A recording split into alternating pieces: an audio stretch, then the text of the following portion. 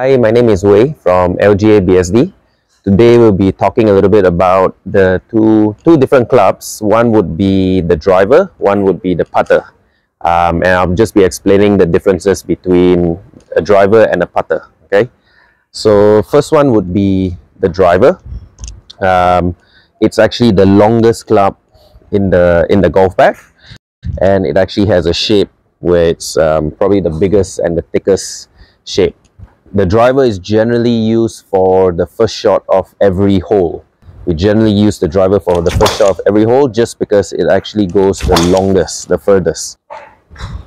So that would be the starting of every hole, we would use this. And then towards the end, the last shot of every hole, we would actually use what we would call the putter. So putter is actually the shortest, it's actually the shortest club in the in the golf bag, and this would be the the ending point basically. So we're this is when we're actually rolling the ball um, into the hole, and that's when we'll actually finish off with the putter. Okay, one done.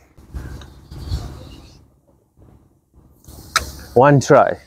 So we'll actually start off with the driver on the first shot as it goes the furthest and then we'll finish off with the putter um, rolling the ball into the hole.